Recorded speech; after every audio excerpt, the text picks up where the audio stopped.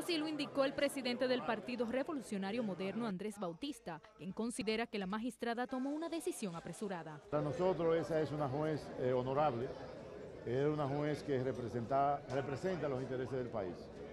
Ah, eh, no compartimos su decisión, pero la respetamos.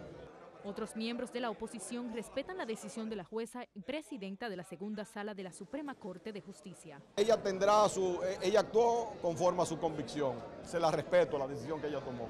Pero es una persona para mí que reúne todas las condiciones de integridad y moralidad en la República Dominicana.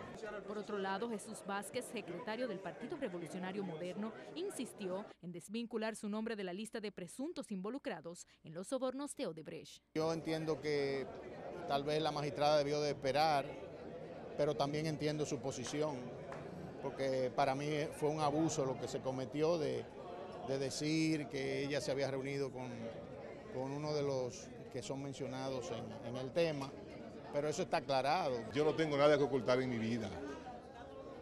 Yo he vivido de manera transparente.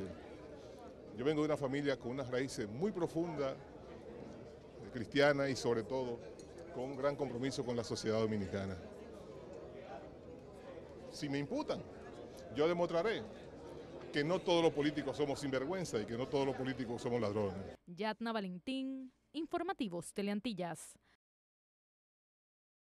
Si me imputan,